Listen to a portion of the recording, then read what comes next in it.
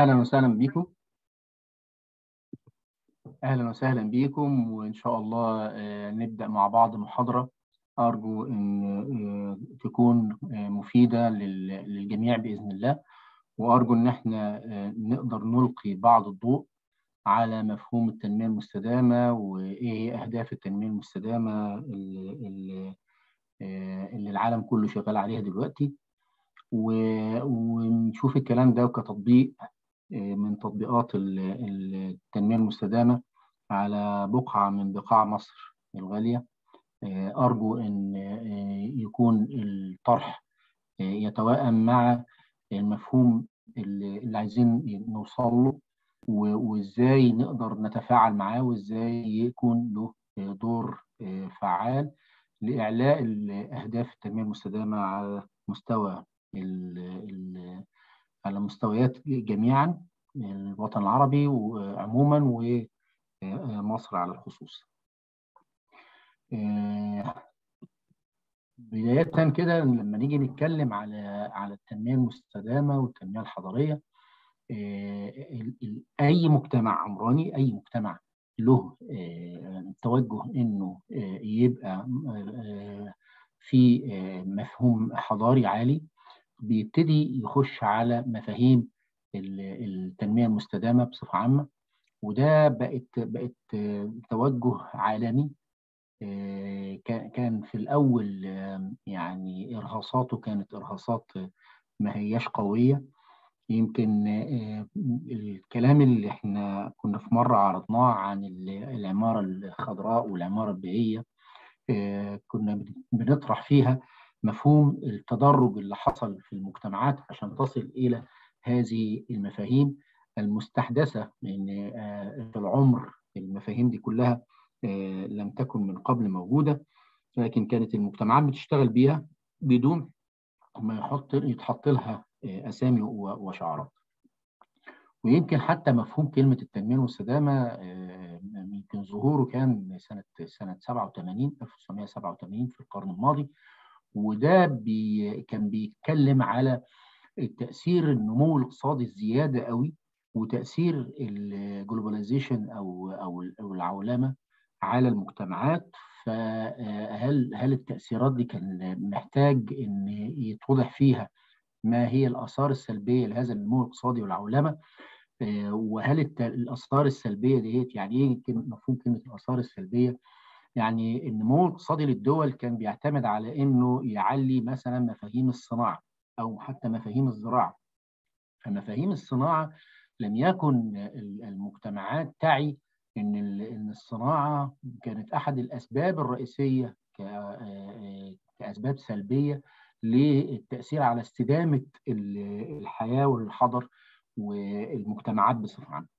وهنا كان كان لازم يطلع فيها آه، تركيز أكتر من المجتمعات ومن الأفراد علشان يستوعبوا إن التنمية المستدامة آه، آه، لها تأثير كبير جدا على التنمية آه، الاقتصادية لأي دولة. وطبعا تفاعلات المجتمعات كانت بتبقى الأثر فيها إما إنه عن طريق الهيئات والمنظمات الدولية والمحلية ثم الشركات أو الهيئات آه، ال- الربحية والغير آه، يعني آه، والغير هادفة للربح ثم الأفراد. لكن بيعلى قوي قوي المفاهيم دي هي إنها تبقى مؤكدة وموثقة لما تكون خارجة من هيئات ومنظمات دولية. وهنا يظهر التقرير اللي اتعمل سنة 2007 بس- كان اسمه مستقبلنا المشترك.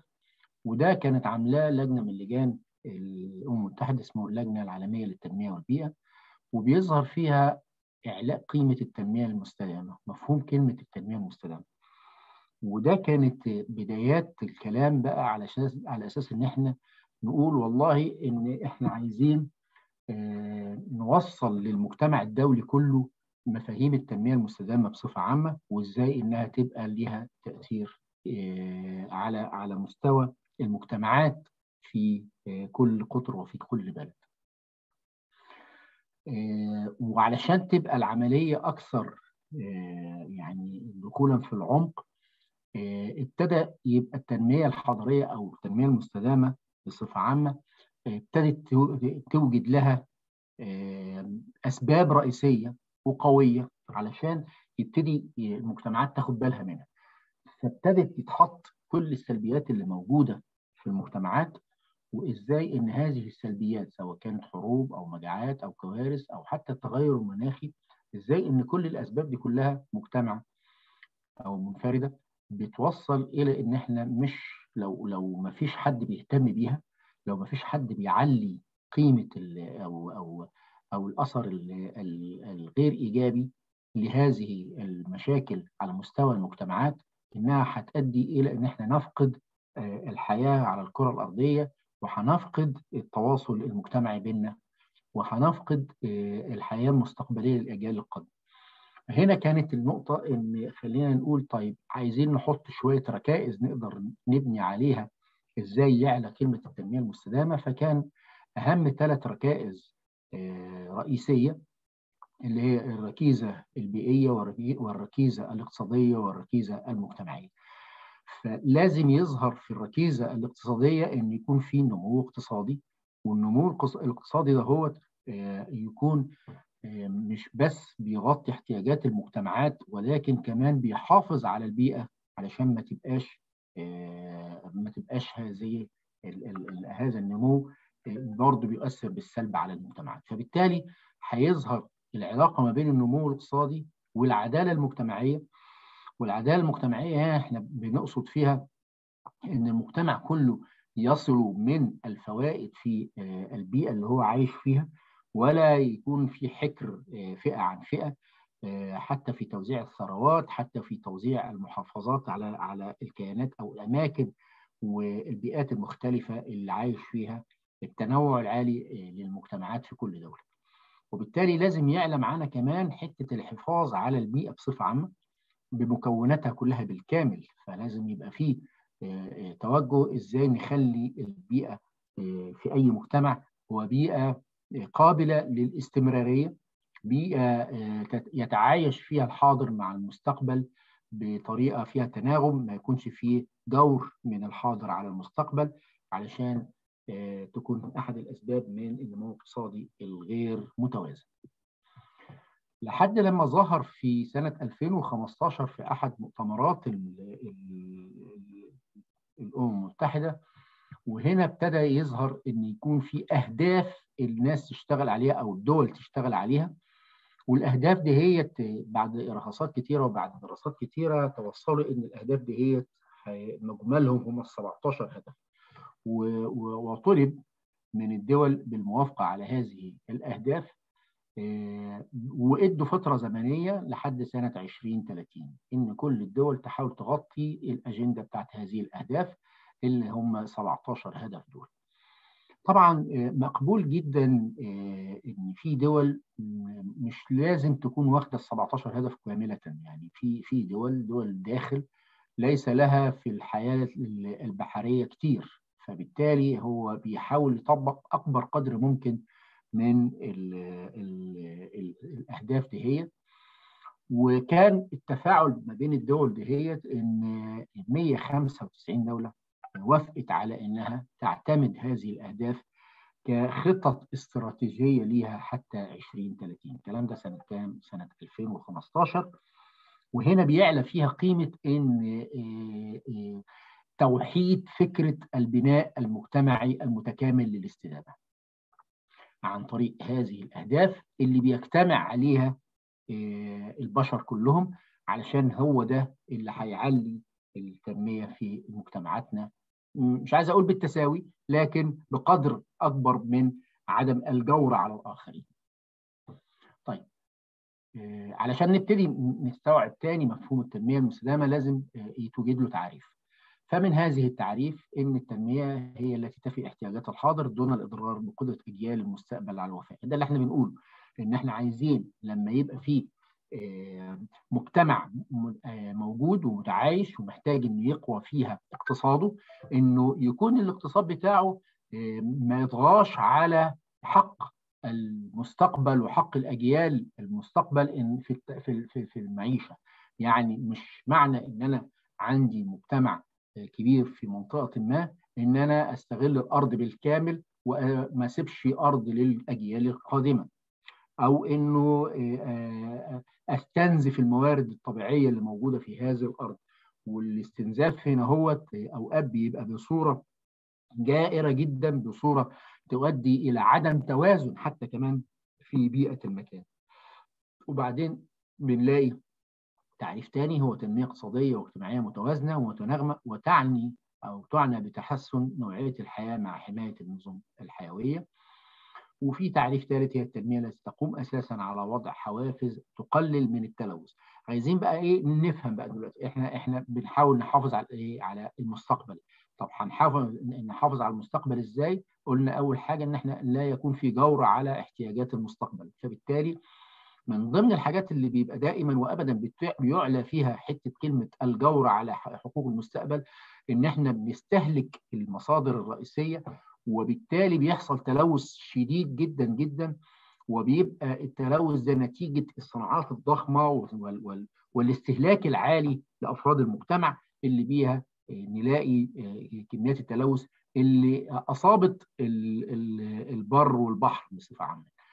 وازاي بقى ان إحنا نحاول في مفاهيم التنمية المستدامة ان إحنا نقلل حجم النفايات والمخلفات ونقلل كمان الاستهلاك وخاصة ما يخص استهلاك الطاقة واستنزاف الطاقة ومصادر الطاقة الطبيعية الرئيسية.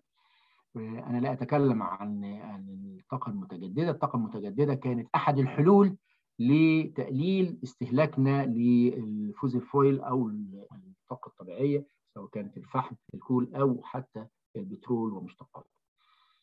ومن الحاجات اللي كانت برضه بيهتم مفهوم التنمية المستدامة فيها كعناصر رئيسية هو استهلاك المجتمعات للمياه واستهلاك الموارد الحيوية. استهلاك المجتمعات للمياه الصالحة للشرب أدى إلى إن في بعض المجتمعات بقى عندها فقر مائي شديد جدا وبالتالي بتحاول إنها تغطي هذا الفقر إما إنها تغطيها بالقوة عن طريق عمل مشاكل مع المجتمعات اللي حوالين منها المحيطة أو إنها بتحاول تستنزف مواردها المالية والاقتصادية في إنها تعمل معالجات للمياه الموجودة سواء كانت المعالجات ديت لمياه في الأصل غير صالحة للشرب ملوحتها زيادة زي المجتمعات اللي هي موجودة على المحيطات والبحار أو أو أو ودي كلها حلول بتستنزف موارد الدولة علشان يعلى فيها قيمة الاستهلاك للمياه. طبعا الكلام ده هو برضه نفس القصة بالنسبة للموارد الحيوية يعني إيه الموارد الحيوية كل ما هو هيخش في أي صناعات أي زراعات أي مكونات للمجتمعات يعني مثلا الغابات يعني ال ال ال ال الاحتياجات للأكل للشرب وهكذا. طيب الهدف ال11 من من الأهداف ال17 ده بيتكلم عن المجتمعات والمدن أو الحضر أو أو أو المكونات الرئيسية للمجتمعات دي فبنحاول إن إحنا نشوف هذه المجتمعات أو هذه المجتمعات إزاي تتعايش في مدن مستدامة. إيه هو الأثر البيئي لهذه المجتمعات وإزاي نقدر نوفر لهم حياة مستدامة بصفة عامة؟ ولما نقول حياة مستدامة إحنا برضو بنرجع تاني ونتكلم على احتياجات هذه المجتمعات لوجوده في المدن. احتياجاته بقى من الطاقة من مصادر الغذاء من المياه. إزاي يتعامل مع النفايات وتلوث الهواء والمياه والانبعاثات الكربونية وإزاي نربط ده كله طبعا مصادر بيبقى حاجات أساسية رئيسية لتعافي المجتمعات والتعايش جوه هذه المدن. وربط هذا الكلام بالمصادر بقى الدخل والاقتصاد وحفاظ الموارد الطبيعية وتوازن يبقى إحنا بنحاول نعلي من قيمة في المدن المستدامة بصفة عامة بنحاول نعلي فيها إزاي يبقى الاستثمار يبقى استثمار مستدام وإيه هي وسائل الإنتاج اللي ما تنجرش تاني ما تجرش تاني ولا تبدد ولا تسرف في الموارد الرئيسية وما تجرش على المستقبل واجيال المستقبل. وده اللي بيخلي المجتمعات يكون فيها تنظيمية في الإنتاج تنظيمية في أو استمرارية في التنظيم للإنتاج وإعلاء قيمة التعافي للمجتمع وحفاظا على حق المجتمعات المستقبلية. من هنا بنقدر نقول إن إن المدن المستدامة ينبغي أن تكون قادرة على إطعام نفسها مع الاعتماد الضئيل على المناطق الريفية إن يكون عندها مصادر الطاقة وهنا يظهر بقى مفهوم إن إحنا عايزين يعلي معانا قيمة الطاقة المتجددة لأن زي ما اتفقنا إن الطاقه الفوز الفويل أو الطاقة الأصلية الطبيعية اللي هي خارجة من مصادر الفحم والبترول والأخشاب والكلام ده كله هذه المصادر يعني بتستنزف بطريقة شديدة جدا جدا وكمان بتزود في التلوث. فابتدى يبقى في بدائل لهذا الكلام وابتدينا نتكلم على إن إحنا عايزين نوجد استخدامات أكتر للطاقة المتجددة وأكتر من عشر أنواع من الطاقات المتجددة بقت دلوقتي هي اللي بتحاول المجتمعات إنها تعلن من قيمتها وتعلن من استهلاكاتها ليها. من الأسس اللي بتبني عليها المدن المستدامه اللي هي تقليل التلوث وإحنا قلنا إن التلوث ده هو ناتج من استخداماتنا للطاقه مصادر الطاقة الرئيسية وكمان حياة المجتمعية المبنية على الإنتاج الصناعي وحتى كمان الإنتاج الزراعي بصفة عامة. استخدام الأراضي بكفاءة وهنا بنقدر نقول إن إن الجور العالي للمجتمعات في الأراضي المحيطة ليها أو موجود فيها حياة بنلاقيه في صور إعلاء قيمة إما الزراعات اللي بتاخد من حق الأجيال القادمة في استنبات واستزراع أراضي لما لما يلاقوش أراضي يعرفوا يستزرعوها أو إن الأراضي تستخدم بطريقة عشوائية وطريقة غير منظمة بيقلل فيها كفاءة الاستخدام أو الاستمتاع بالمدن المستدامة.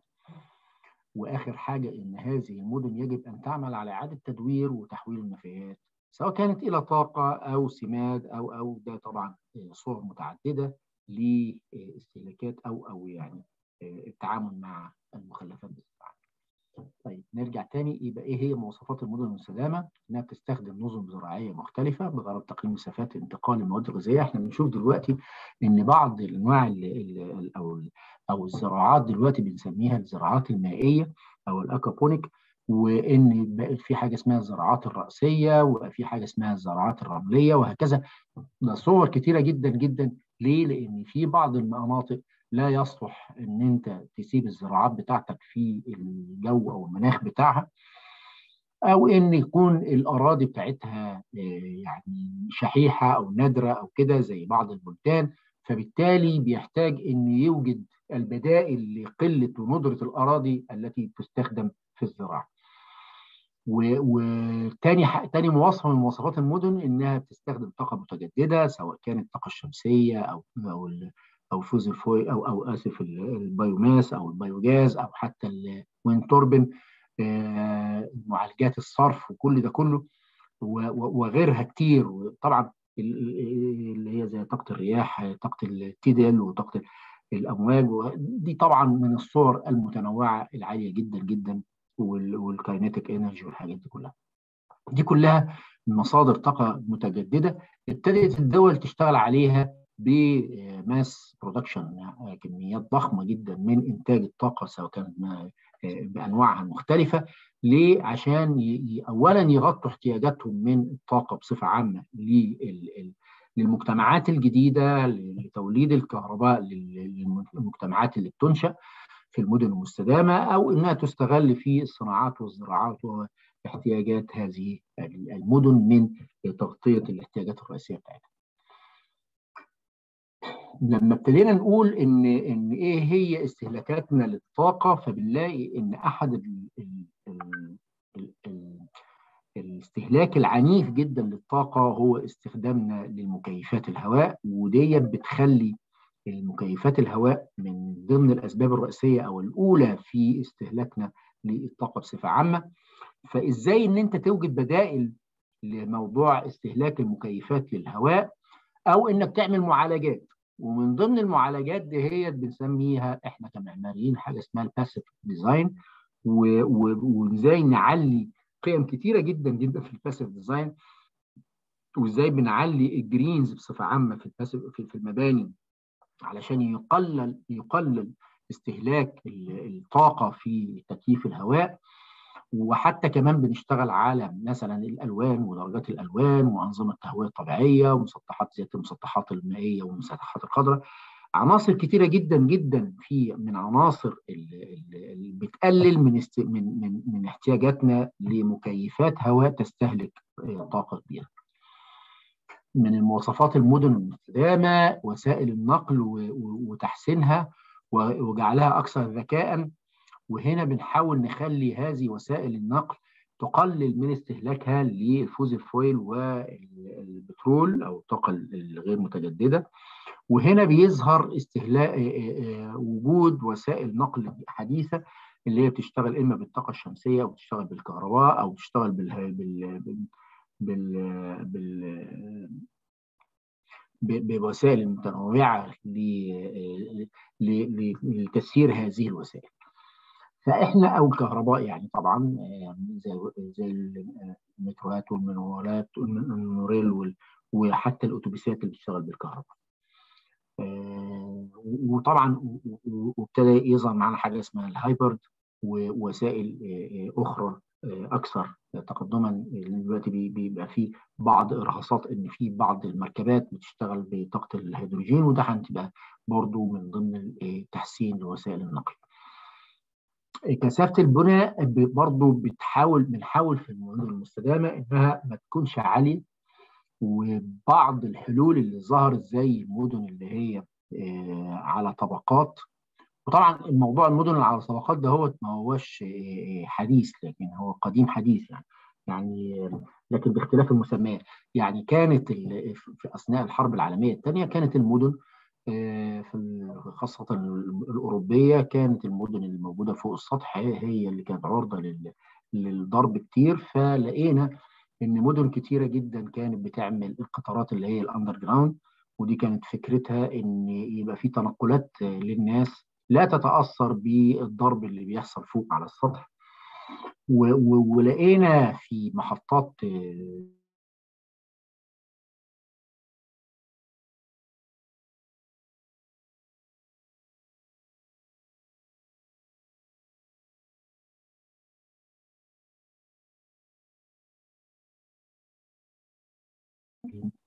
الإقامات اللي كانت بيسموها ملاجئ ساعتها لهذه المدن تحت الأرض.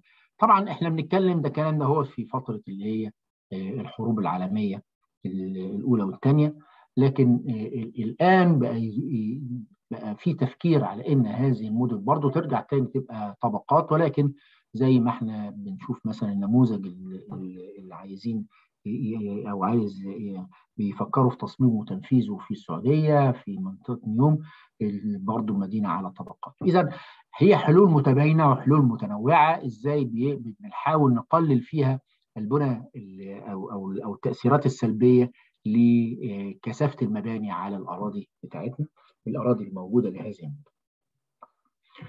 ومن ضمن الحاجات اللي المجتمعات دائما مجتمعات ذكية بتحاول إنها توجد لنفسها يعني حلول حتى ولو حلول فردية حلول ليست مبنية على تخطيط مستقبلي وتخطيط مستدام فبيظهر مفهوم كلمة الزحف العمراني بطريقة أو بأخرى هو هو حل يعني حتى لو كان حل يعني غير هندسي أو حل غير مخطط بطريقة جيدة لكن هو حل لاحتياجات الناس للسكن واحتياجات الناس لأنها تتوجد في أماكن فيها فرص العمل أكثر وأقوى من الأماكن اللي هم جايين منها. فأنت إزاي إنك يعني تحول هذا الكلام إلى إلى شيء مخطط وشيء مستدام في ده أحد العناصر الرئيسية للمدن المصرية. من هنا نقدر نقول لو إحنا خدنا قياسا جمهورية مصر العربية يعني كنموذج وتحديدا محافظة الوادي الجديد. إيه السبب الرئيسي اللي إحنا بنتكلم فيها؟ السبب الرئيسي ان إن المخطط العام اللي بيحصل في مصر دلوقتي بيبقى أو يعني بيتوجه إلى إنه بيشتغل على حاجة اسمها الجيل الرابع من المدن. مفهوم كلمة الجيل الرابع بيبقى فيه لبس كتير جدا ما بينه وما بين المدن الذكية. الجيل الرابع يشتمل على بعض المدن الذكية لكن هو أكثر جيل من أجيال المدن المستحدثة تقريبا 14 مدينة استحدثت في الفترة الأخرانية. بتحاول القرار السيادي إن هو يعلي من هذه المدن الجديدة ليه؟ علشان في عندنا أزمة في الوادي الكثافة السكانية عالية جدا جدا والتوجه إن يخف الضغط من الكثافة السكانية ديت في إنشاء مدن جديدة. هذا يعني على مستوى مصر كلها. لكن لما نيجي نتكلم على محافظة الوادي الجديد وهي ركن عزيز جدا من أو أو جزء عزيز جدا من من مصر كلها بالكامل وهنا بيظهر بقى في معانا معلومات لازم الناس تاخد بالها منها إن هذه المحافظة طبعا نبذة تاريخية بسيطة إنها أعلنت رسميا سنة 61 في عهد الرئيس جمال عبد الناصر وهي من من حداثة المحافظة إلا إنها معروف عنها إن فيها واحات كانت موجودة منذ القدم. وهنشوف إيه هي هذه الواحات. طبعا حاليا بيدير المحافظة هو السيد المحافظ السيد اللواء محمد زمرود أركان حرب وهو اللي حاليا اللي موجود حاليا وهنشوف الإنجازات اللي ممكن نقول عليها بتساعد على التنمية المستدامة في هذه المنطقة. من سنة 61 المحافظة كانت للأسف الشديد يعني مش عايز أقول إنها كانت يعني مهجورة لكن كانت يعني شبه ما بتتحطش في مخططات التنمية. وكمعلومات عامة بقى المحافظة دي هي من أضخم محافظات مصر أكبرها على الإطلاق نسبة المساحة بتاعتها 44% من مساحة مصر كلها بالكامل يعني تعادل 440 ألف كيلومتر مربع و66% من مساحة الصحراء بصفة عامة اللي موجودة في مصر الشرقية والغربية. هي مكوناتها خمس مراكز رئيسية اللي هي الخارجة والداخلة والفرافرة وبلاط وباريس. أنا بتكلم بقى على محافظة فيها مراكز ديت وهنعرف ليه إحنا بنتكلم عليها بصفة مجملة ما بنركزش على مدينة من ضمن كانت من ضمن ال 14 مدينة في شرق العينات دي تحت خالص أحد المدن اللي هي برضه مستحدثة اللي بيتم فيها التنمية المستدامة. للأسف الشديد هذه المحافظة على ضخامتها كلها إنما يقطنها 200 تقريبا 56 ألف نسمة يعني تقريبا بمعدل فرد لكل 2 كيلومتر مسطح. من الجميل في هذه المحافظة أن نسبة الأمية فيها لا تتعدى ال 2% والجريمة لا تتعدى الواحد في الألف. المحافظة هي تقع في الجنوب الغربي لجمهورية مصر العربية فبالتالي جوها جوها جو صحراوي صيفها بيبقى جاف لكن في الشتاء بيبقى درجات معتدلة وللأسف الشديد طبعا فيها ندر للأمطار. هنا بنيجي في مشكلة رئيسية لمشكله المياه. طب بتتعالج المياه إزاي؟ آه نشوف كده هو بعض التحليلات لو عملنا سوات اناليسيز للمحافظة كلها فبنتكلم نقول إيه؟ إن نقاط القوة بتاعتها إنها أكبر محافظة إن في وجود أراضي فيها محتاجة تنمية كبيرة جدا. آه في قوانين استثنائية آه للمحافظة. في اهتمام دلوقتي القيادة السياسية بالإضافة للتنمية الحضريه اللي موجودة في في جمهورية مصر العربية بتحاول إنها دلوقتي تعلي من التنمية المستدامة لهذا المجتمع الغالي علينا اللي هو محافظة الوادي الجديد. بنلاقي إن في كميات من المياه بنسميه ال ال النهرين بيمروا من تحت المحافظة. الخزان النوبي ده ده خزان من منابع النيل الرئيسية من أثيوبيا وكده. بيغذي هذا الخزان النوبي. اللي في بعض التقديرات بتصل لاكثر من 100 مليار متر مكعب وفي بعض الأوقات بتصل إلى 300 مليار متر مكعب. الرقم بالتحديد لسه يعني ما نقدرش نقول عليه رقم قد إيه. لكن في مخزون مية جوفية عالي جدا جدا فيها. نسبة السطوع الشمسي فيها طبعا عالية جدا إنها تصلح إنها تستخدم في الطاقة الشمسية وخلافه.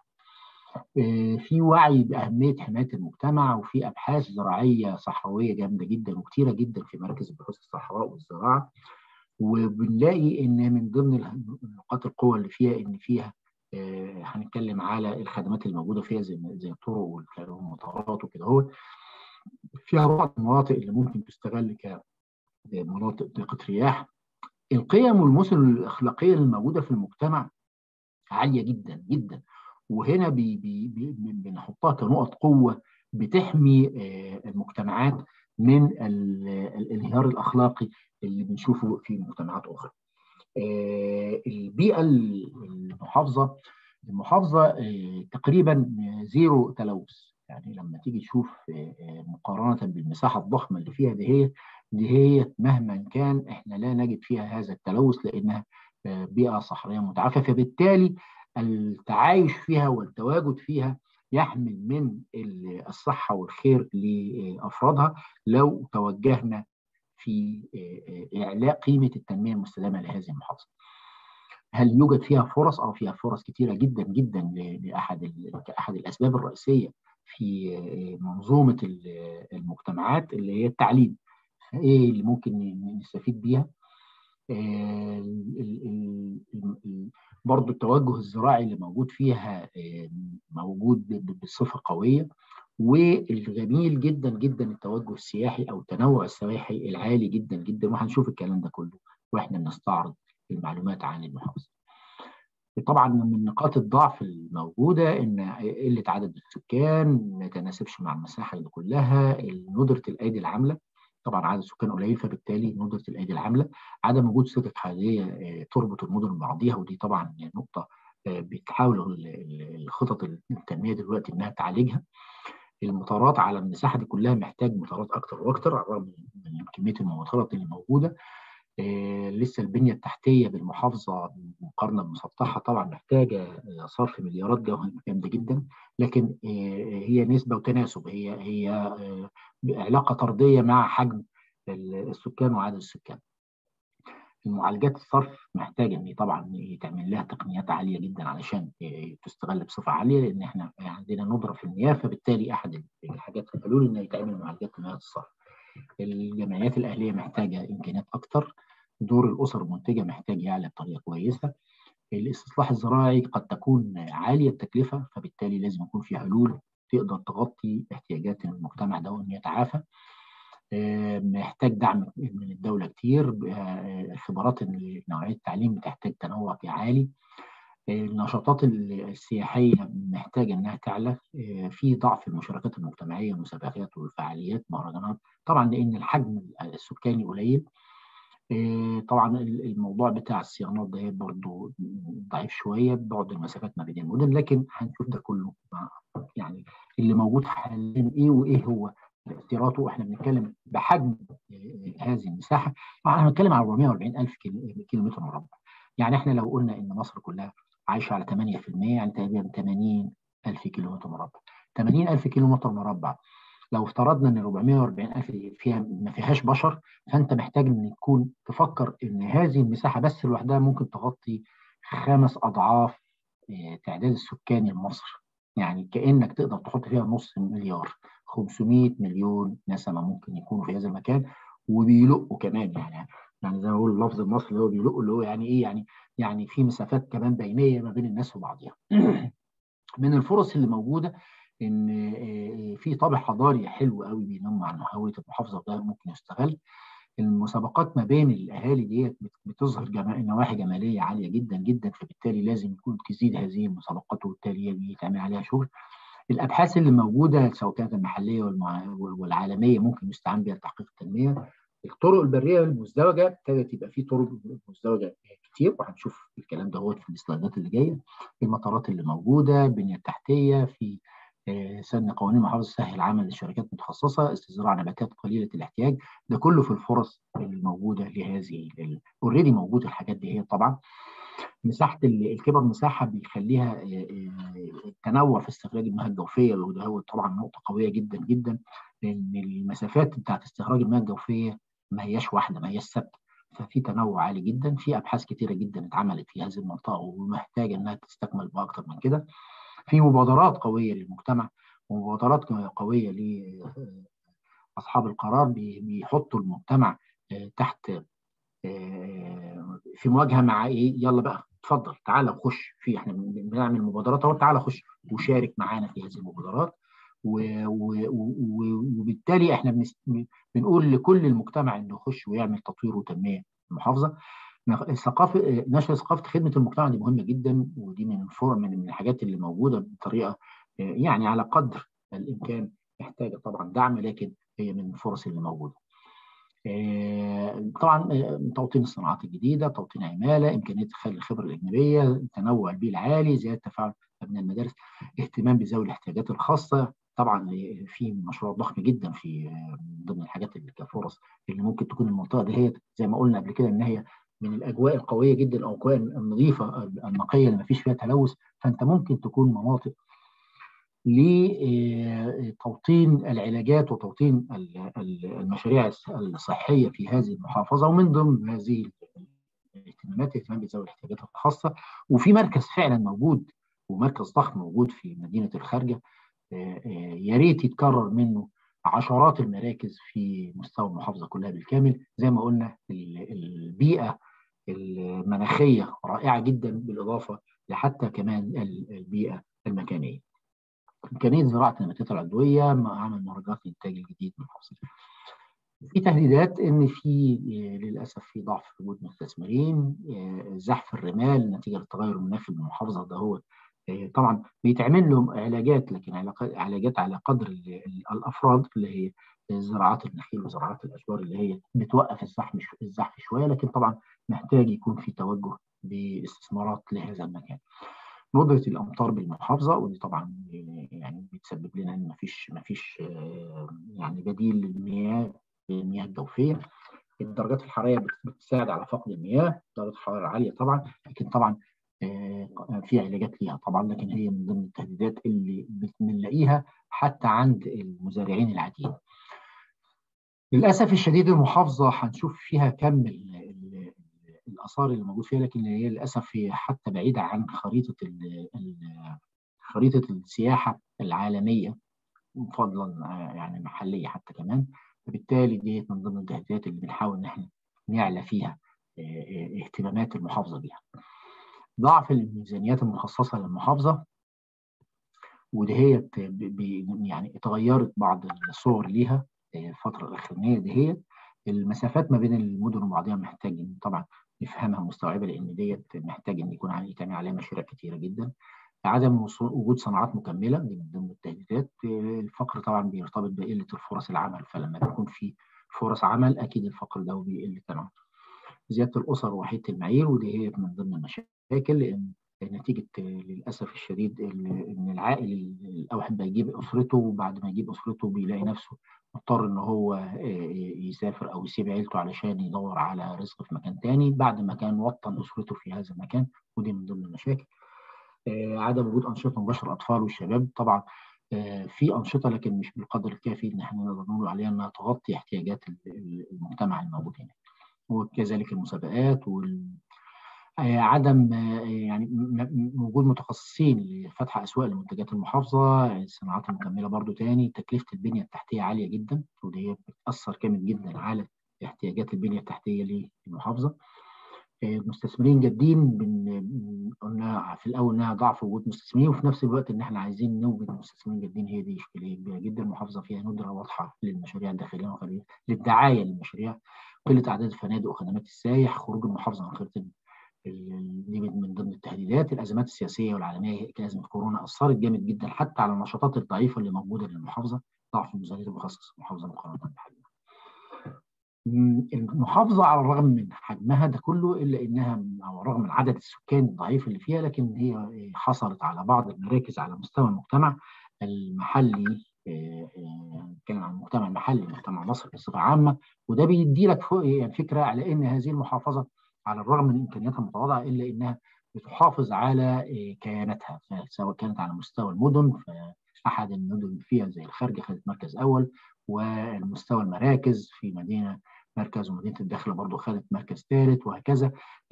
ديت بتدي إيجابية عالية جدا جدا عن التصور لمدى تقدم هذه المحافظة كتنميه مستدامة وكان كفكر تطور حضاري لهذه المدينة. لما نبص على الخدمات اللي موجودة في هذه المدينة بنلاقي إن في فترة وجيزة من 2014 ل 2021 زادت كميات الطرق تقريبا الضعف في فترة زمنية لا تتجاوز كام؟ سبع سنين من 2200 كيلو متر أو يعني 2000 كيلو متر إلى 4200 زادت الكمية تقريبا 2200 كيلو متر وهنا بنتكلم على إن التوجه بقى اللي أنا بقول عليه في الأول اللي هو توجه التنميه الحضرية للمجتمعات في مصر وفي المحافظة يبقى في تركيز على المحافظة في إنشاء مجتمعات تقدر تستوعب إن لو لو في بدائل عن الوادي أو أو أو وجودنا في 8% فهتكون المحافظة هي أحد البدائل القوية جدا جدا.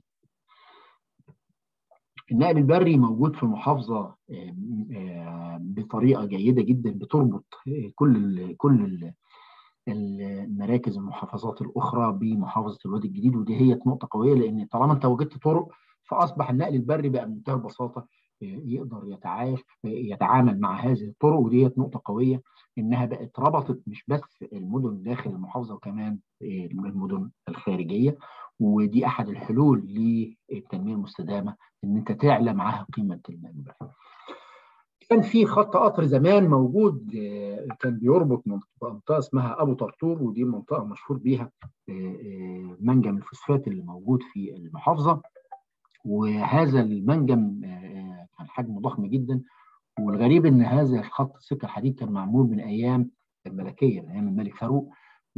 وللأسف الشديد أهمل هذا الخط الانتاج دلوقتي بيعاد صيانته بيعاد تطويره علشان يرجع تاني يشتغل حتى يصل إلى قنا ومن قنا إلى سفاجه فبالتالي هو يقدر يبقى يستوعب حركة النقل سواء كان نقل الركاب أو نقل البضائع.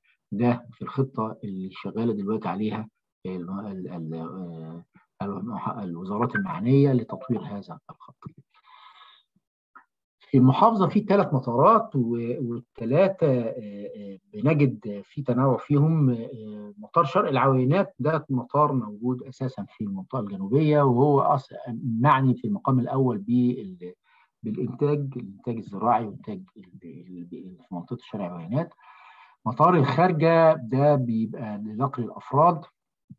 وهو مطار واحد بيشتغل نقل الافراد للأسف المطار الداخلة لا يعمل ولكن محطوط في الخطة في التنمية بتاعته. المطارات بت يعني في دلوقتي خطط من ضمن الخطط اللي إحنا بنتكلم عليها إن خطط التنمية تزيد فيها وعدد الرحلات تزيد فيها وتنوع ما تبقاش كلها passenger بس أو ركاب بس أو أو بضائع بس فالتنوع ده هيبقى الخطط هي دي اللي بتتولاها الجهات المعنية برضه في تطوير هذه المطارات. المحافظة في المدن الرئيسية اللي فيها بتشتغل على ال grid على على الشبكة الرئيسية وبالتالي احتياجات المحافظة حجما يعني قياسا بحجم العمال بحجم الأفراد الموجودين فهي متكفية جامد جدا ومع ذلك بيزيد دلوقتي في المحافظة مشاريع استهلاكات أو أو مشاريع الطاقة الشمسية وتحويل الاستهلاكات إلى إلى الطاقة الشمسية أكثر من الشبكات الرئيسية. من ضمن المميزات في المحافظة. أيضا موضوع الغاز الطبيعي ودخوله في مدينة الخارجه، مدينة الخارجه هي المركز الرئيسي أو هي العاصمة للمحافظة. وده بنتكلم على إن أحد القوى نقط القوة الكبيره جدا جدا لتطوير منظومة البنية التحتية للمحافظة. أيضا من ضمن الحاجات القوية إن إن المدن الرئيسية متغطية بشبكات اتصالات قوية وبالتالي دي هي بتدي فرصة للتعايش المستقبلي الجيد لأي مجتمعات هتيجي تتعايش بعد كده في المحافظة. المحافظة على ضخامتها اللي أنا فيها إلى حد ما تغطية معقولة للفنادق وهنا بنشوف إن الفنادق ما بين ثلاث نجوم وأربع نجوم وعدد الغرف لحد دلوقتي 650 نأمل إن يتضاعف هذا الرقم في الفترة القادمة ليه؟ لأن إحنا عايزين يعلى المشاريع اللي بتتبني عليها وجود السائح لهذه المحافظة. في بنوك موجودة وإن كانت كلها بنوك محلية في المحافظة وبالتالي أي مستثمر بيبقى عايز يعمل أي business أو أي شغل هناك هيلاقي كمان خدمة البنوك موجودة. المحافظة خدت على عاتقها إنها تكون أول محافظة تعمل حاجة اسمها الحكومة الرقمية أو digital government وهنا ابتدى يبقى في منشآت اتوجدت في المحافظة بتحاول إنها يعلى مفهوم كلمة الحكومة النموذجية والحكومة المميكنة وده طبعا تحت التنفيذ لكن هي يعني هتكون أول محافظة بيطبق فيها هذا الكلام بمنشآتها الحديثة. للمحافظة بعض المشاركات المجتمعية علشان يعلى برضه مفهوم كلمة التنمية المستدامة للمجتمع بصفة عامة وهنا بنشوف إن الأدوار بتاعت المحافظة ليست قائمة فقط على المحافظ ولكن المحافظ والجهات المساندة ليه علشان يعلى فيها استخدام أو أو يعلى فيها تفاعل القرار السياسي والسيادي مع المجتمع. فبنلاقي إن المحافظ بيحاول يجيب يستقطب ناس كتيرة جدا من المحافظات الأخرى فبيحاول إن يبقى في شراكات بينه وما بين المحافظات الأخرى في جمهورية مصر العربية زي الغربيه والمنوفيه وكفر الشيخ وبيتبني مباني ليهم ومنشات ليهم علشان يبقى في إعادة استيطان للناس يعني في هذه في محافظات كتيرة جدا في مصر ليس لها ظهير صحراوي.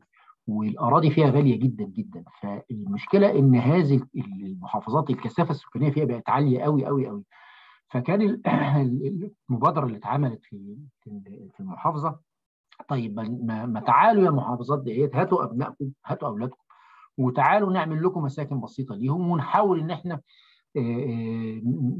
نعلي قيمة الاقتصاد. ما يبقاش مسكن وبس. فبالتالي المحافظة بقى تتولى المحافظة اللي هي اللي جاي منها أبنائها تتولى توزيع أراضي وتوزيع أراضي في المحافظة محافظة الوادي الجديد وهنا المحافظ بيدي فرصة لهذه المحافظات إنها تتملك حتى ال 10000 فدان علشان تتوزع على أهالي المحافظات الأخرى.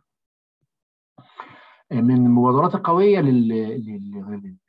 للحكومة أو المحافظة إن إعادة تجميل المحافظة على فكرة من أنظف ومن أرقى سبب إنها بتاخد مراكز إن إن الشوارع بتاعتها نظيفة جدا جدا وبنية التحتية بتاعتها إلى حد ما مغطيه احتياجات فبنلاقي إن كمان بيكملوا المنظومة إن حتى المباني كمان ابتدت يبقى فيها شكل جمالي إلى حد ما بيقدر يغطي احتياجات البعد الجمالي لسكان المحافظة.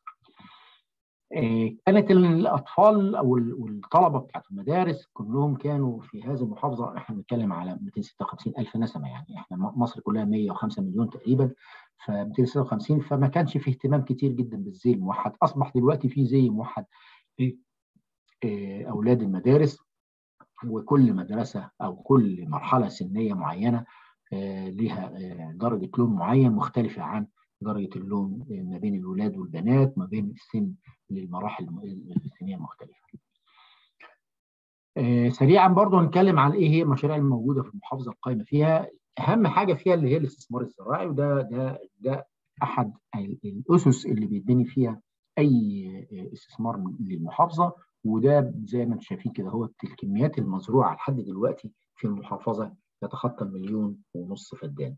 فأنت بتتكلم على إن أنت عايز يعني يزيد هذا الرقم هنشوف هيزيد إزاي. أحد المشاريع والمبادرات القوية جدا جدا لإعلاء القيمة بتاعت الأراضي أو الاستثمارات الزراعية في المحافظه مشروع القومي اللي هو استصلاح مليون فدان.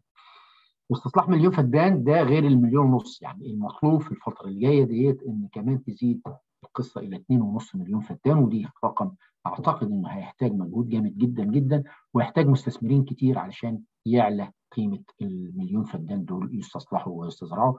وزي ما قلت لكم وزي ما الصور مبينة إن البنية التحتية فعلا بتحاول إنها توجد فرص كبيرة جدا جدا للاستثمارات في هذه المنطقة سواء كانت مد الطرق أو سواء كانت معالجات المياه أو أو وجود مياه الشرب ومياه للري ومياه الزراعه كل ال كل ال الوسائل دي كلها بنية تحتية عشان نوصل للمليون فدان بطريقة تقدر تغطي احتياجات مصر إحنا مش بس مصر لكن احتياجات العالم كمان ان إحنا في فترة ما كنا بنغذي العالم فكانت يقال في في بعض المصادر إن قد يكون هذه المنطقة كانت أحد المناطق اللي كانت بتقوم بتغذية العالم من الغذاء. حاليا دلوقتي موجود في المحافظه 2.5 مليون نخلة. المخطط العام بيطلب من المحافظة إنها يزيد على 2.5 2.5 تانيين يعني عايزين يوصلوا ل 5 مليون نخلة في محافظة بحجم محافظة الوادي الجديد وهي ديت برضو أحد الفرص الاستثمارية العالية جدا جدا لهذه المحافظة. كان مخطط إن يتزرع الزيتون على مساحة 1000 فدان لحد دلوقتي المرحلة الأولى وصلوا ل 400 فدان وده كمخطط أو كمبادرة أطلقت لزراعة ال 1000 فدان الفترة الجاية نتمنى إن الموضوع دوت يزيد لأن المحافظة من ضمن المناطق القوية جدا جدا للزراعة. الأراضي فيها قابلة لل يعني عافية وقوية تقدر تزرع فيها أنواع كثيره جدا جدا من الزراعات. من ضمن الحاجات اللي المبادرات اللي موجودة في المحافظة اللي هو زراعة التوت وإنتاج الحرير الطبيعي مبادرات اللي هي النباتات الطبية والعطرية ودي برضو من ضمن الحاجات القوية جدا جدا اللي المحافظة دلوقتي متبنياها إنها تقدر تعمل خدمات للي بيحاول إن هو يخش في هذا الاستثمار. النباتات الطبية والعطرية العوائد الضخمة بتاعتها بتخليها من المشاريع الناجحة في المحافظه.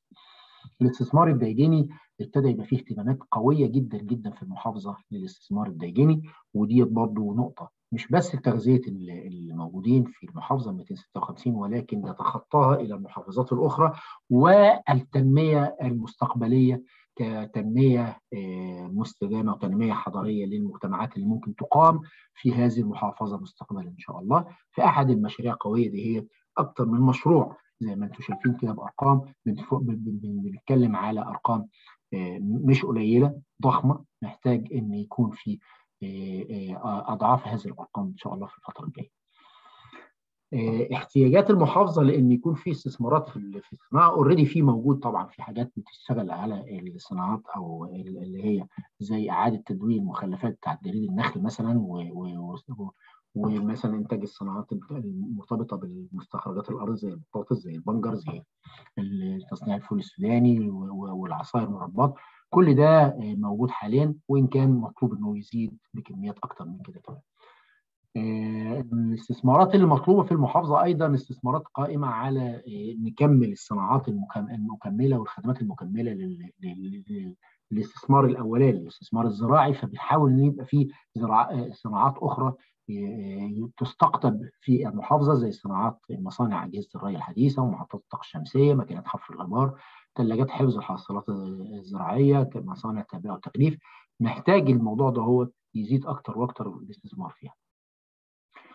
المحافظة من حجمها الضخم جدا وجدت فيها معادن كثيره أول حاجة إحنا اتكلمنا عليها اللي هو الفوسفات والفوسفات يستخدم في في في, السماد بكميات ضخمة جدا فبترطور لكن الحمد لله في في معادن كثيره أيضا وجدت زي الحجر الجيري اللي بيستخدم في الأسمنت الجرانيت والبازلت أكسيد الحديد توجد بكميات مش قليلة الرخام الزلط الرمال البيضاء وصناعات الإزاز اللي ممكن تعتمد على الرمال البيضاء. وهكذا انت ممكن تلاقي نفسك بتتكلم على ان محافظة مليانة من الفرص. إيه هي فرص تحديات؟ إحنا بنحاول نعلى برضو في توجهنا للتنمية الحضارية للمحافظة انها تكون أول محافظة في مصر صديقة للبيئه. ومفهوم كلمة صديقة للبيئه هو إنه يتخطى مفهوم المشاريع الانتاجيه أو المشاريع الخدمية الموجودة، إحنا بنحاول إن إحنا يبقى المجتمع نفسه كمان يتفاعل مع المفاهيم الصديقة للبيئه. بنحاول إن إحنا نتكلم من خلال محاور متعددة زي محاور الاسكان وهنشوف نتكلم عليهم واحد واحد أعتقد إن هي من المحاور القوية اللي أنت تقدر تبني بيها أي مجتمع. محاور محور رئيسي محاور الاسكان والتخطيط إحنا بنحاول نعلي فيها مفهوم كلمة المباني البيئية المستدامة فيعلم عن المباني الخضراء وده التوجه الجديد للمنشآت الحديثة اللي هتبقى موجودة في المحافظة إن شاء الله الفترة اللي جاية إن إحنا نشتغل بالبنى بالطين. يعني أنت عندك مزارع كتيرة جدا جدا محتاج إن يكون ليها استراحات محتاج يكون ليها أماكن فلا ما نلجأ إلى إن إحنا نستورد الأسمنت من المحافظات الأخرى أو الحديد علشان نبني مباني هيكلية بالخرسانة والأسمنت. طب ما يتبني بالطين وبقى في عندنا خبرات متنوعة عالية جدا جدا في البنى بتربة الأرض أو البنى بالطين في هذه المنطقة. والتربة كمان هناك بتساعد لحاجة زي كده. التربة هناك قوية والطفليه بتاعتها بكثافات عالية نقدر يتبني بيها كويس جدا. وممكن يستفاد بأفكار مبتكرة زي ما كنا بنتكلم على موضوع مخلفات النخيل فإزاي إن إحنا ممكن نستخدم جذوع النخيل في البنى واستكمال منظومه البناء. في بعض الأفكار زي البنى بالكونتينرات وإن كان طبعا النقل فيها هيبقى مكلف شوية لأنك من أقرب مين علشان توصل للمناطق اللي هي محتاج تفكر كتير في التكلفة دي هتبقى عامله إزاي لكن إحنا بنقول إن لازم يكون في تطور للفكرة بتاعتنا. من ضمن الحاجات القوية جدا في استفادتنا من المشاريع اللي موجودة على مستوى العالم اللي المشاريع اللي موجودة في دولة الإمارات الشقيقة ونتمنى إن يكون هي التوجه الرئيسي لمصادر التنمية والاقتصاد في دولة الإمارات الشقيقة إنها يتوجهوا للمحافظة ونتمنى أن يكون أحد هذه التوجهات إن زي ما في مدينة مصدر في أبو ظبي نتمنى أن يكون في مصدر المصرية تبقى في محافظة الوادي الجديدة ونتمنى أن تكون نقطة انطلاقة قوية جدا جدا هذه القرية إنها تستقطب رجال الأعمال وتستقطب المجتمعات الحديثة إنها تتعايش في محافظة الوادي الجديدة برؤية وفكر جديد وابداعي جديد. بنحاول نعلي قيم في تخطيط الروح التنافسية ما بين الأطفال والشباب والفنانين ونعمل مجالات مسابقات. بنحاول إن إحنا نعلى هذا الكلام ده كله. بنحاول إن إحنا نوجد عناصر جمالية كتيرة جدا جدا في المحافظة بوجود آليات كتير علشان يعلى فيها الجمال. الميادين والطرق والمظلات والأفكار الدعائيه الأخرى. المدن الرئيسية في المحافظة الداخلة والخارجة منتشر فيها الجنائن والحدائق وبنحاول إن إحنا نوجد كيانات تربط المجتمعات بالمدن دهية بطريقة جيدة جدا وبنحاول إن إحنا يعلى فيها الاستخدام الجيد للمساحات الموجودة والأفكار الإبداعية لهذه المساحات. من ضمن الحاجات التحديات العالية جدا اللي بنحاول إن إحنا نغطيها في المحافظة اللي هو التغذية بالمية ومعالجة الصرف وديت بيبقى محتاج إن يكون في أفكار خارج الصندوق زي ما بيقولوا. والحمد لله إن المراكز البحثية شغالة على الموضوع ده هو بطريقة جيدة جدا وإن كان طبعا بيبقى فيه أفكار خارج الصندوق لامكانيه تقليل تكلفة استهلاك استخراج المياه الجوفية. وإن كان طبعا استمطار الأمطار محتاج يكون في سحاب أو كده لكن في معالجات أصبحت دلوقتي بتقدر تعمل استقطاب للأمطار ودي نقطة من النقط اللي ليها تفكير عالي جدا في معالجة مشكلة المية في المدينة. المعالجات الصرف الصحي ابتدى يكون في توجه لإنها تتطور أكتر وأكتر والمعالجات الثنائية بقت ثلاثية دلوقتي في المحافظة واعتقد إن بقت كمان في مشاريع بتتبني هتتبني على وجود هذه المعالجات المية الصرف الصحي سواء كانت لعمل طاقة أو سماد أو خلافه ولكن هي في الآخر أحد المشاريع القويه جدا جدا في إعلاء احتياجنا للمية في المحافظة. طبعا إحنا اتكلمنا على إن محافظة ضخامة الوادي الجديد محافظة أساسا صحراوية فأنت عندك نسبة سطوع الشمس فيها عالية جدا جدا بالإضافة إنها صحراوية فيها موضوع الرمل فأنت محتاج إن أنت تستغل الكلام ده هو في الطاقة البديلة نشر فكر ثقافة الطاقة البديلة سواء كانت على مستوى المحليات ومستوى الشوارع والطرق وكمان على مستوى المزارع وده اللي بيحاول التوجه السياسي إن هو يشتغل عليها دلوقتي. زي ما قلنا المباني الحكومية دلوقتي كمان حتى كمان تبقى في توجه كامل جدا إنها تبقى كلها معمولة مش بس مباني حكومية ومساجد والكنائس كلها تبقى منارة بالطاقة الشمسية ودي برضه من الفكر اللي بيعلى دلوقتي فيها المفهوم استخدامنا كمان للطاقة المتجددة الهيدروجين وكده هو في توجه جامد إنها ممكن تكون أحد النقاط القوية جدا جدا للمحافظة إن يكون في مشاريع بالشكل ده وبالضخامة دي في المحافظة. محتاج نستوعب كويس قوي إن الأرض عافية جدا جدا في المحافظة فبالتالي نقدر نشتغل عليها زراعات حتى كمان الزراعات الغير تقليدية زي الغابات البولونيا والمهوجني والحور والزراعات الأخرى النخيل انواعه بانواعه كلها المختلفه زراعات ال aquaponic الزراعات وكمان الطبية والعطرية وخلافه وكمان نقدر يعلى فيها الإنتاج الحيواني بطرق أو يعني بحاجات غير تقليدية زي الغزلان والايائل والنعام already في مشاريع في مشروع نعام موجود هناك لكن إنه يبقى زيادة ويكثر فيها هذه المشاريع هو ده التوجه اللي إحنا نتمناه من كل المستثمرين علشان يزيد فيها التنمية المستدامة لهذه المحافظة. محور الصناعة والتعدين إحنا بنحاول في كل محافظة على ساعاتها الضخمة اوريدي هي موجود فيها مجمعات صناعية موجودة في محافظة في في مدينة الداخله والخارجة في مجمعين صناعيين ضخم محتاج مستثمرين يعلى فيها صناعات بقى كتيرة متنوعة زي صناعات المخلفات بأنواعها كتيرة اللي داخلة فيه البلاستيكات اللي داخلة في مواد البناء اللي داخلة في المواد العزل المواد كل كل الصناعات اللي ممكن تطلع من تطلع من صناعات المخلفات أعتقد إنها هتبقى فرصتها قوية جدا جدا في المحافظة. كذلك الصناعات العضوية وصناعات التعدين عندنا معادن كثيره في المحافظة لو لو فكرنا في مصانع الأسمنت مصانع الرخام مصانع الفوسفات السماد أعتقد إن هي هتبقى نقطة قوية وانطلاقة قوية جدا جدا وإحنا نقول إن ضخامة المحافظة تغطي مفهوم كلمة إن هيبقى في تلوث في الجو أو لأ أعتقد الموضوع دوت حتى لو درس من بدايته بطريقة صح أعتقد هيبقى نقطة قوة وجذب جامدة جدا جدا للمستثمرين في المحافظة.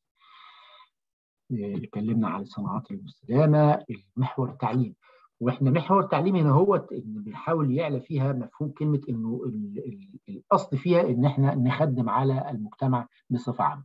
لكن في توجه دلوقتي إن التعليم ما يبقاش في خدمة المجتمع المحلي فقط ولكن كمان ممكن يكون توجه إنه بيخدم المجتمعات الدولية أيضا. لأن بيئة زي بيئة المحافظة بيئة قوية جدا وجيدة جدا جدا إن يتوجد فيها النوعية الغير تقليدية في التعليم. يعني مثلا التعليم البيئي زي التعليم الفني اللي محتاج يتفكر بطريقة مختلفة كبيرة جدا أعتقد إن التعليم البيئي إن لو كلمنا فيه بطريقة جيدة من مراحل الثانوية الأولى هنصل إن إحنا ممكن نفكر بطريقة جيدة إن إزاي يعلى عندنا مفهوم كلمة التعليم الجامعي كمان. التعليم الفني محتاج كتير جدا لو إحنا بنتكلم على مشاريع استثمارية المحافظة بتحاول إنها توجد لها الفرص القوية يبقى أنت محتاج تعليم فني عالي يقدر يغطي احتياجات تعليم المشاريع الاستثمارية المطلوبة وبالتالي عايزين نفكر إن التعليم الفني يكون جنبا إلى جنب مع التعليم العادي علشان يغطي احتياجات المحافظة في التنمية المستدامة المستقبلية. اتكلمنا على إن المحافظة ذات بيئة طبيعية نقية تساعد على تنمية مهارات الأطفال ذوي الاحتياجات الخاصة أعتقد إن إن ده نقطة قوة كبيرة جدا جدا إن فيها يعني أحد المراكز اللي موجود فيها حاليا دلوقتي تقريبا تخطى قيمته 35 مليون جنيه من منشآت وأجهزة وكده موجود في المحافظة. أعتقد إن المحافظة قادرة إنها تعمل فيها مراكز مش مركز أكثر من مركز. نتمنى إن يكون في فكر يوجه المحافظة إنها تكون يعني المحافظة بتحاول إنها يتعمل فيها جامعة بيئية. حاليا المحافظة فيها جامعة واحدة بس اللي هي جامعة الوادي الجديد. لكن أتمنى إن إحنا يكون فيها أكتر من جامعة ونشتغل بقى على على على مفهوم كلمة الجامعة البيئية يعني يبقى في عندنا كليات زراعة صحراوية كليات الطب المناطق الحارة الطب البيطري الصحراوي الصيدلية العضوية العمارة البيئية التقنيات الروبوتية الجيولوجيا والتعدين وعلوم الأرض الصحراوية كل دي هي الكليات ممكن تستحدث في جامعة الجامعة البيئية اللي, اللي نتمنى إنها تنشأ في المحافظه. السياحة وما أدراك ما السياحة، السياحة التنوع العالي اللي جامد جدا جدا في هذه المحافظة بيخليك تقول والله أين هذه المحافظة من الخريطة؟ من أول ما تلاقي السياحة أو أو المناطق الطبيعية زي الصحراء البيضاء والصحراء السوداء وجبال الكريستال والسفاح والمغارات اللي موجود فيها أعتقد إن هتبقى لو حد فكر فيها كاستثمار عالي جدا جدا هتبقى نقطة قوة كبيرة جدا فإحنا بنقول إن إذا كان فيها دلوقتي 650 غرفة غرفة فندقية نتمنى إن يتضاعف هذا الرقم لأن إحنا في عندنا زخم كبير جدا.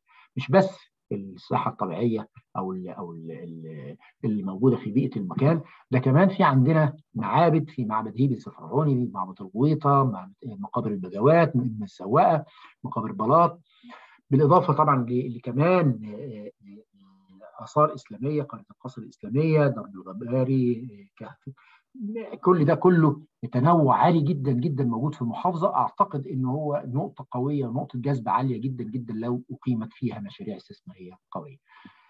من كده كمان في إيه إن انت ممكن تستغل البيئة الصحراوية تعمل فيها محاور للسياحه سواء كان التزحلق على الرمال أو أو أو سباقات الهجن أو سباقات الرالي أو سباقات البالون أو أو أو استغلال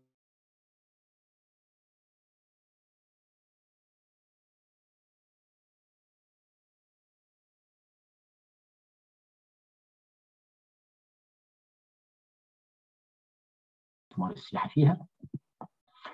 أيضا من الحاجات القوية جدا جدا إن منتشر في المحافظه المياه الكبريتية.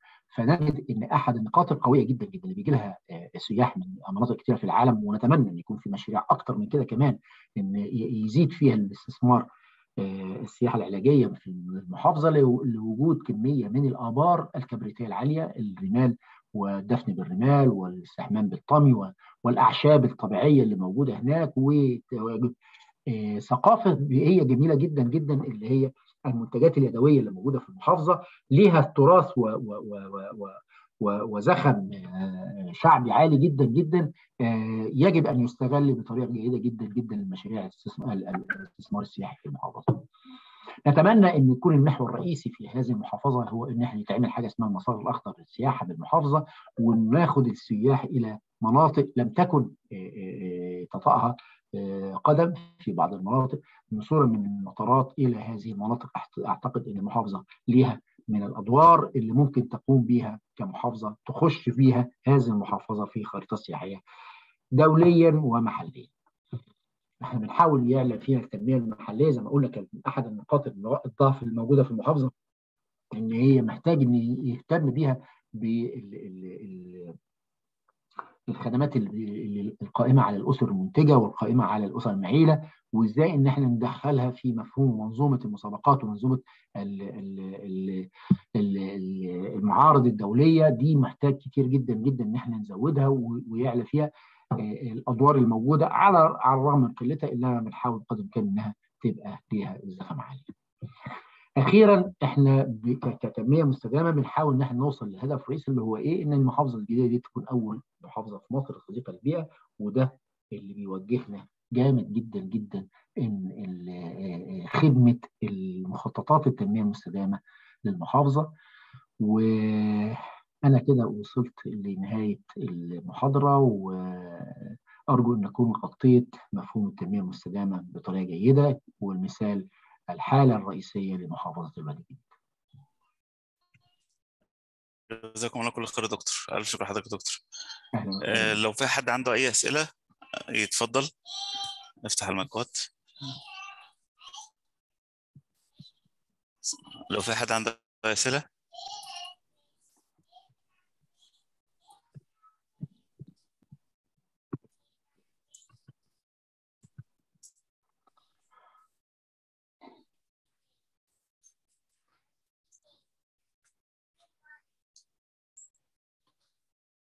أهلا وسهلا. الله يكرمك يا دكتور. إحنا فاتحين الباب للاسئله لو حد عنده أي استفسارات أو أي أسئلة للدكتور.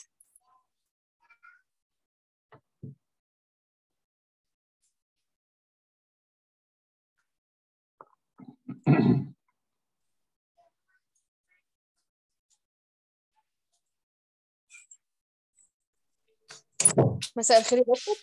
أهلا وسهلا مساء النور دكتور هبه اتفضلي يا دكتور. أهلا بحضرتك آه هو أنا كان يا دكتور برضو آه يعني بشكر حضرتك طبعا على المحاضرة. آه فعلا كانت حلوة جدا يعني بشكر حضرتك عليها. أنا عندي بس استفسار. هل نقدر إن إحنا نقول إن في مدن تانية أو في محافظات تانية جوه مصر ممكن تكون محافظات صديقة للبيئة؟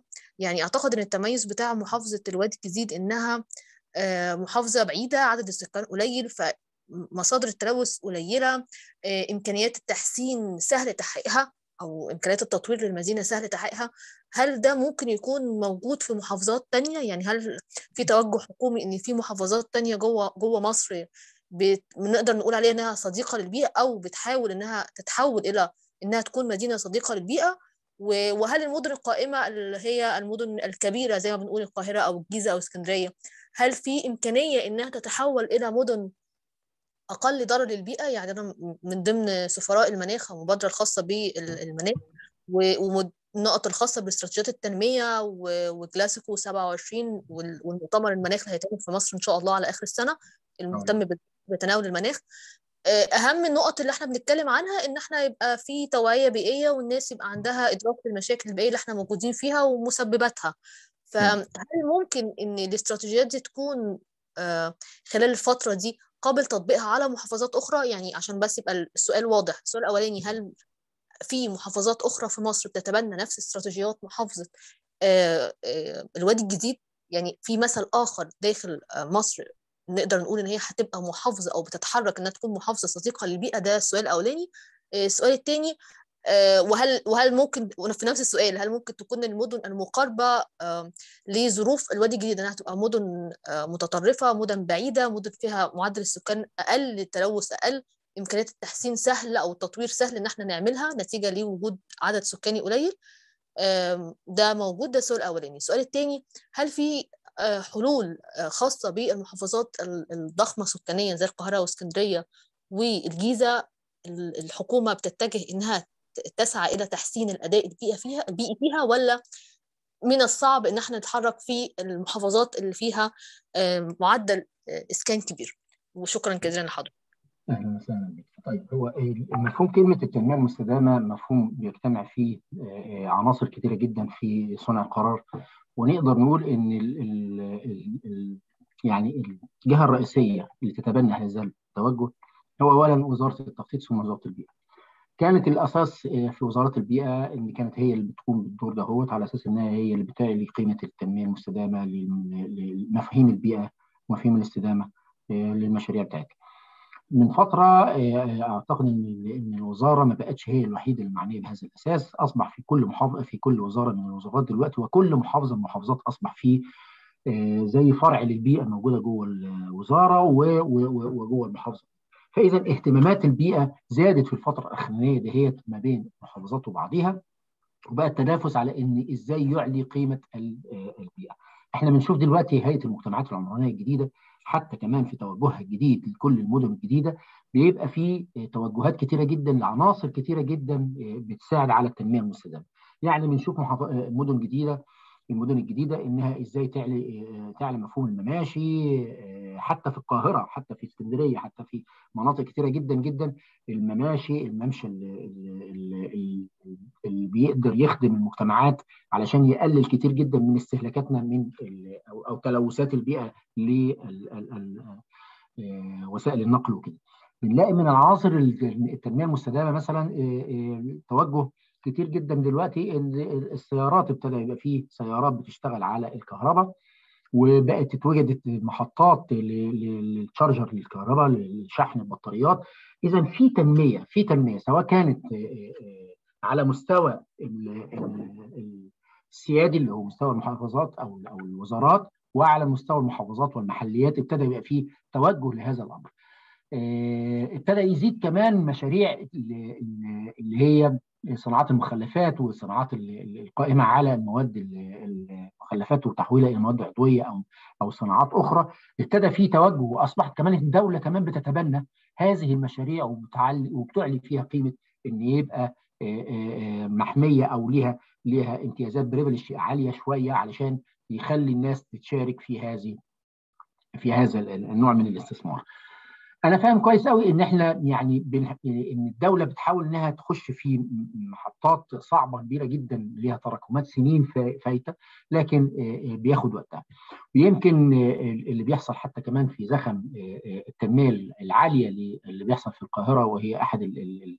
النقاط السخنة الصارخة في مواضيع التنمية المستدامة بيحاول إن هو يغطي تراكمات سابقة عالية جدا جدا في في المعالجات وإن كانت طبعا في بعض ال ال يعني الآراء إنها دراماتيكية شوية. هل هذا الكلام يطبق على المدن أو على المحافظات اللي هي النائية؟ المحافظات النائية يعني هي أميز ما فيها إنها إنها يعني غير ملوثة وبالتالي إنها تقبل إنها تكون فيها تنمية مستدامة. أعتقد إن في بعض المحافظات تشتغل على كده سواء كانت في محافظات سيناء أو محافظات مطروح أو في الوادي الجديد بصفتهم المحافظات اللي هي النائيه أو محافظات الأطراف.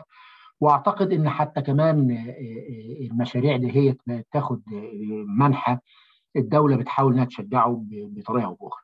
لكن بيعلى قيمة إن المحافظات الأخرى نسبة السكان فيها أعلى بكثير جدا من محافظة الوادي الجديد وهنا ميزة محافظة الوادي الجديد إنها أي تنمية هتتم فيها هيبقى ظاهرة وباينة لكل من هو معني بالأمر وكل من هو صاحب قرار.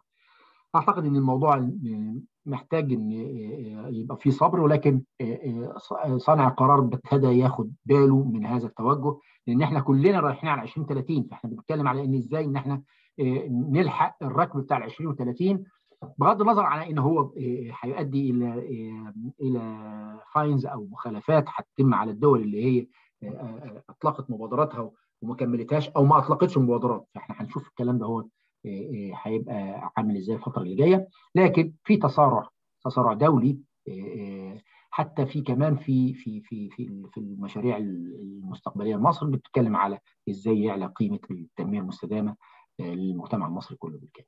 أرجو أكون أجبت شوية على السؤال.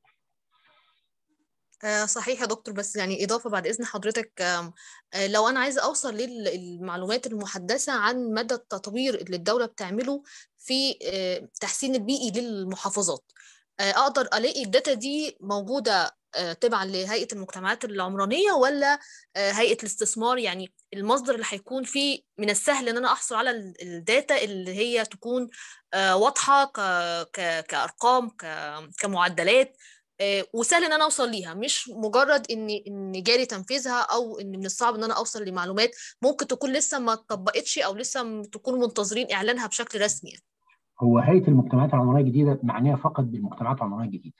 واخد بالك؟ إنما إنما الداتا اللي أنت بتتكلمي عليها مش موجودة حتى كمان غير في وزارة التخطيط ووزارة البيئة. فده الجهتين الرئيسيتين زي ما قلت في الأول إن هم دول المعنيتين بموضوع التطوير للتنمية المستدامة. أي أي وزارة ثانية هي بيبقى فيها عندها جزء معني ولكن الأصل موجود في التخطيط وفي ال وفي ال وفي وزارة البيئة. وكل وزارة بقى ليها اختصاصاتها. يعني إحنا لما نتكلم مثلا عن التعليم أو أو التنمية في التعليم سواء التنمية المستدامه في التعليم فبتلاقي وزارة التعليم وهكذا. الجامعات نفس القصة وهكذا. لكن أساسا الداتا دي هي مش هتلاقي غير موجودة في التخطيط و وفي طبعا مجلس الوزراء هو هو النقطة الرئيسية اللي ممكن تقدر تاخدي منها أي داتا لكن وزارة التخطيط ووزارة البيئة اللي ليهم اهتمامات أكتر. تمام جزيل الشكر يا دكتور شكرا جزيلا لحضرتك. أهلا وسهلا. جزاكم الله كل خير. شكرا دكتور. ألف شكر لحضرتك يا دكتور. الله يكرمك. دكتور. كانت محاضره قيمه جدا. استفدنا كلنا منها. الحمد لله يا دكتور. ربنا يبارك الله يكرمك دكتور. شكرا دكتور. ألف شكر ليكم. شرفت بيكم.